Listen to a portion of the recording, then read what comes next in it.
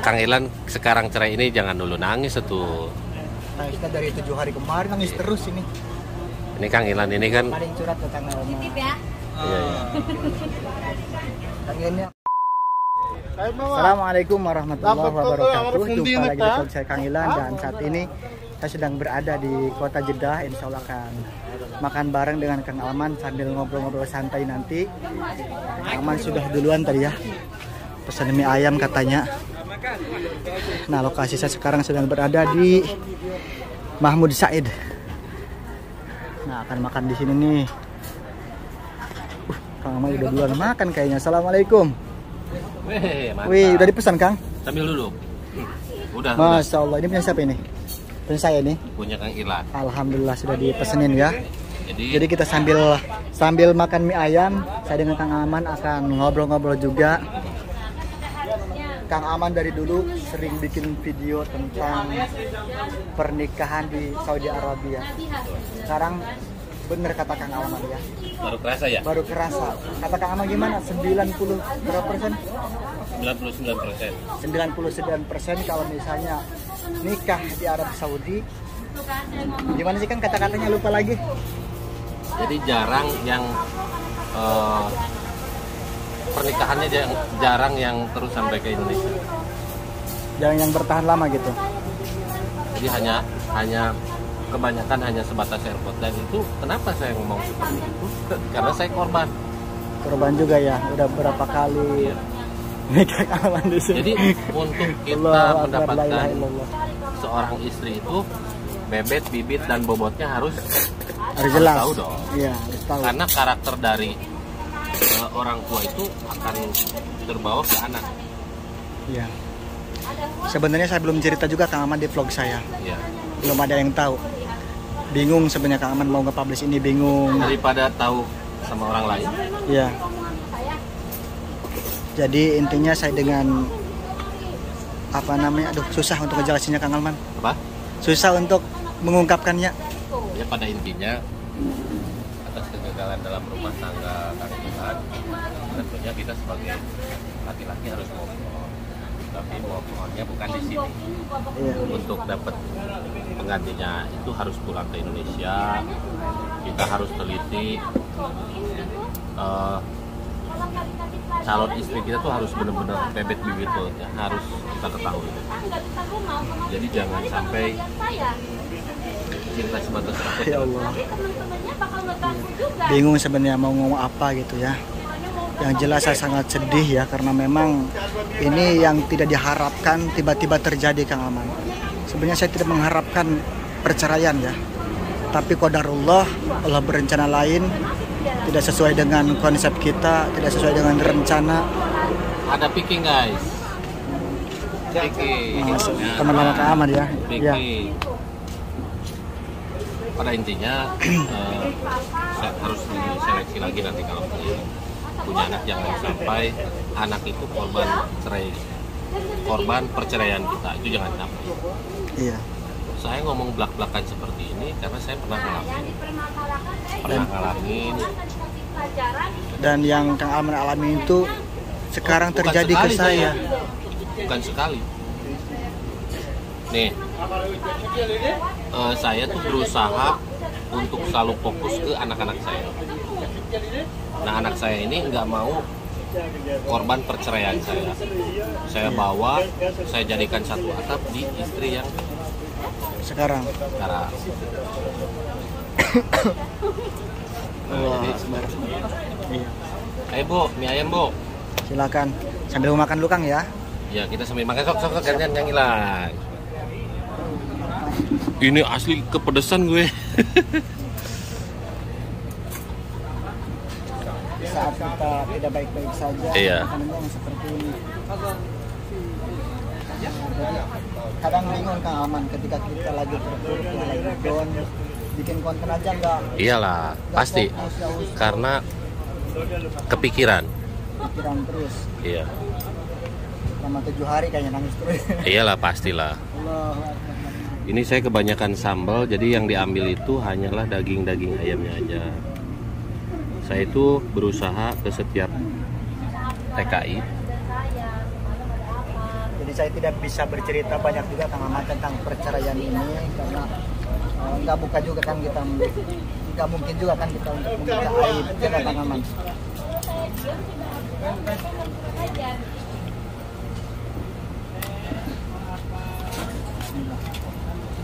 Nah ini chef paling legendaris sedunia akhirat nih. Eh, sebelum ke akhirat Kang. Nah, bapak namanya siapa pak? Sama ya. Ya kalau yang di Jeddah Uyat aja. Bah Uyat kalau di Jeddah. Udah berapa lama pak kerja di Arab? Baru Baru berapa puluh tahun? berapa ya? Baru 13 tahun kan. Eh, udah berapa kali nikah? Nikah satu, dua, tiga kali kan. Tiga kali. Ya, itu di sini ketawa, si ibu ketawa. Di sini semua atau di mana? di Indonesia kan. Somai ada somai enggak? Somai, Ya, ayam ceker aja lah bu. ceker lada. Ceker lebih lebih dahsyat. Eh, nikah udah tiga kali, istrinya ada semua nggak? Ya yang ada hanya satu sekarang. Kenapa? Yang duanya kemanain? Gugur dua. Nikah di sini ya. Enggak di Ya. Menurut eh, Bapak Asep sendiri nih, Asep kan namanya ya? Ya, saya boleh lah. Iya. Saya biar langkung. Kok jalangkung? Menurut Bapak Asep, ketika TKW di sini nikah, kira-kira apa yang ada di pikiran Pak Asep?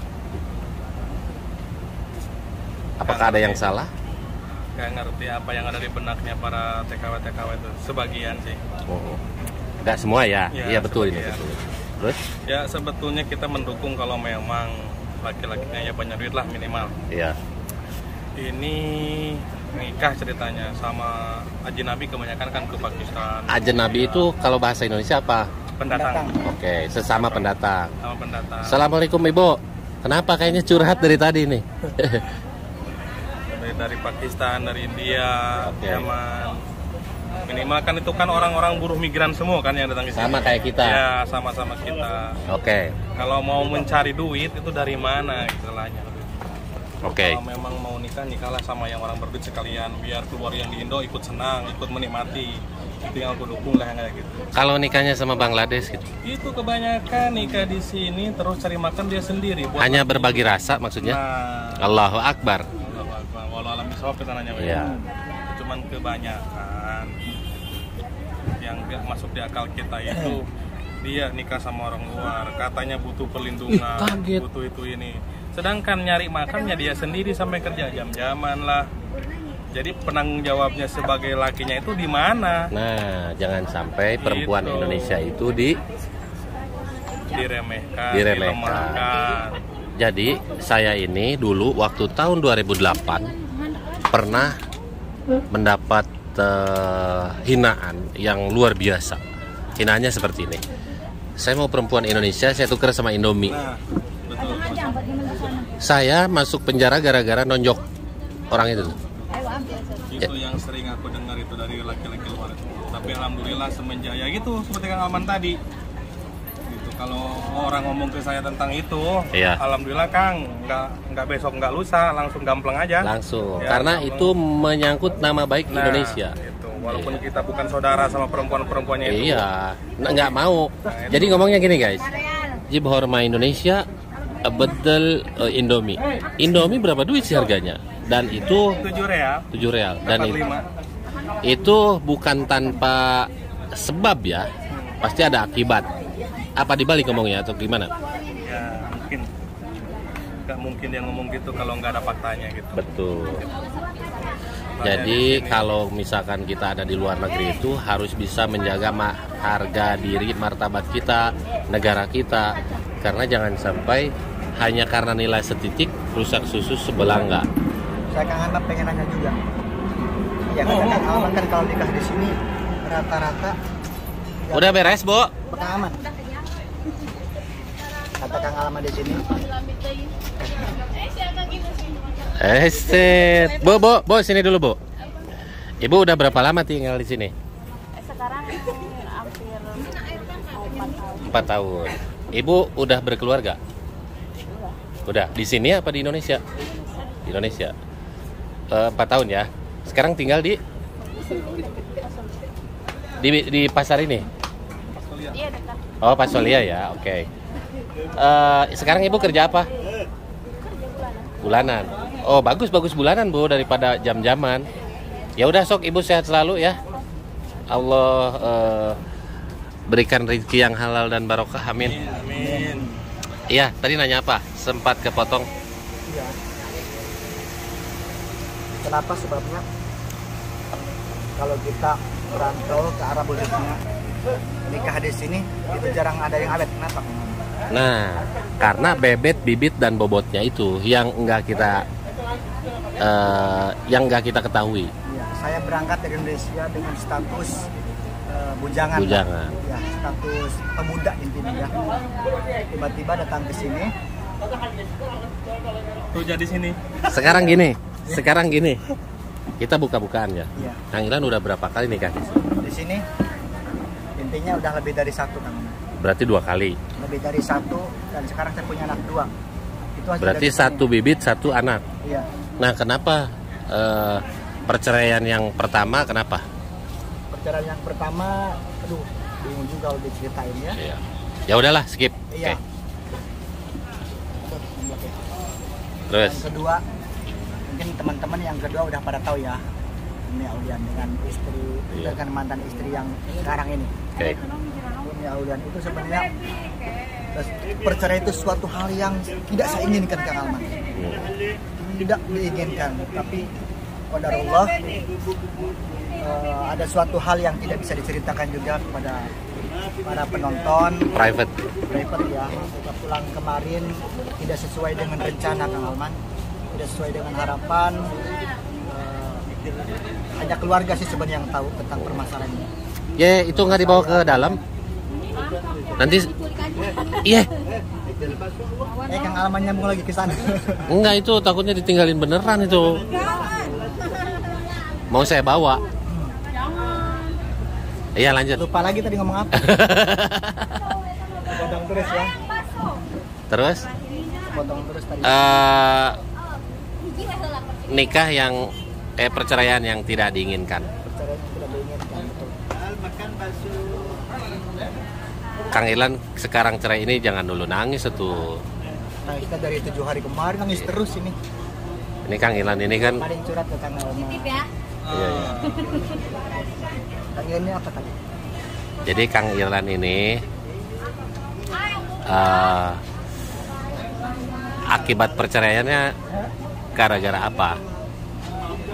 ya intinya yang pertama kalau menurut Kang Alman gimana? Kalau seorang perempuan atau istri yang tidak patuh kepada suami Nah ini nih, ini aja ini gimana?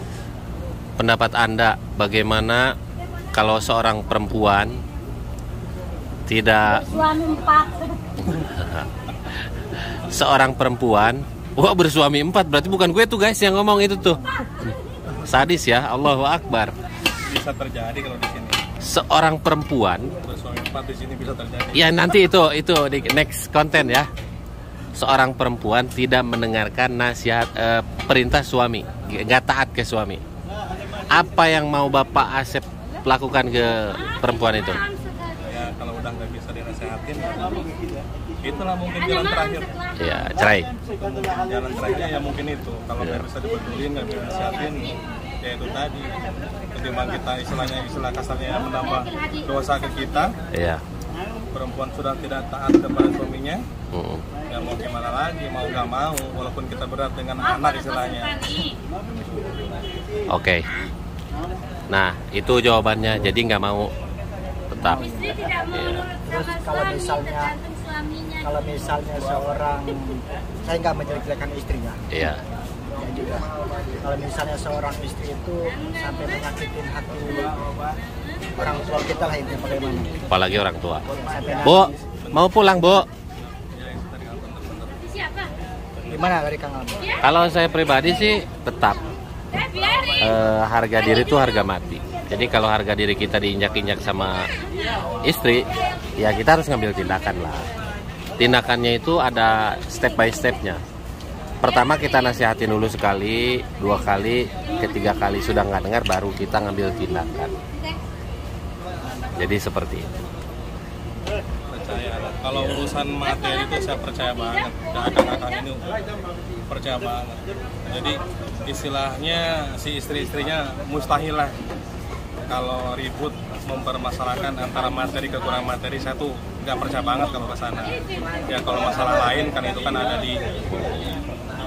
Nah makanya setiap video saya itu selalu saya selipkan bahwa jangan tergoda dengan eh, perempuan-perempuan yang ada di sini. intinya ini juga sudah menjadi apa namanya pengalaman. Pengalaman ini sudah jadi apa saya jadikan pelajaran Kang Alman. Pelajaran untuk masa depannya yang mudah-mudahan semakin lebih baik lagi lah. Ya, saya juga tetap mendoakan kepada mantan istri mendoakan yang terbaik apalagi punya anak ya, Nah keturunan kalau menurut Bapak Asep sendiri eh nikah di sini dengan status yang nggak jelas menurut eh, Pak Asep gimana? Nikah-nikahan kali ya? Hah? nikah-nikahan ya? Tuh kan, Lan nikah-nikahan ya. Jadi eh, mungkin kasarnya itu dulu waktu saya masih kerja ke orang Arab eh, hanya dijadikan sebagai apa ya pelampiasan nafsu gitu loh. Betul? Iya. Banyak di sini nikah asal iyalah. Nikah yang benar itu kan harus ada wali wali hakim apalagi kalau gadis betul mudah-mudahan pengalaman buruk kita ke belakangnya itu jangan sampai terulang lagi ke depan. iya amin Kita udah kenyang jatuh bangun di antara tentang itulah istilahnya. iya Mudah-mudahan ini pernikahan dengan istri yang ini mungkin lah kalau bisa Iya. disebut mudah-mudahan pernikahan yang terakhir. uh lan yang terakhir udah lan oke biar durasi tidak terlalu panjang Baik kita juga mau lanjut ya Kontennya statusnya apa ini? Kawin, ya kawin. Siapa ngomongin Ya, terima kasih. sekali gitu. Ah, ah. Terima kasih banyak untuk para penonton yang sudah menyimak video ini. Jadi sekarang saya buka-bukaan ya tentang permasalahan saya intinya. Karena bagaimanapun juga saya ini udah dikenal oleh apa namanya Kang Aman? Banyak orang sudah punya follower. Jadi kita itu takutnya dijadikan role model gitu loh. Panggilan gini nanti orang ngikutin. Jadi janganlah. Jadi video ini bukan untuk ditiru tapi ini bentuk ke nasihat bahwa nikah itu kita nggak bisa asal sekedar nikah tanpa tahu bibit bebet dan bobotnya. Betul betul. Ambil dulu Kang lah, kita lanjut makan kita ya. oke oke Terima kasih untuk para penonton, mudah-mudahan sehat semuanya, dimudahkan rezekinya, dimudahkan segala urusannya, dimudahkan langkahnya oleh Allah. ayo picking picking Segera bisa melaksanakan ibadah haji dan ibadah umrah. Amin, ya Lanjut Alamin. makan ya. Jangan lupa mampir ke Sultan Alman. Assalamualaikum warahmatullahi wabarakatuh.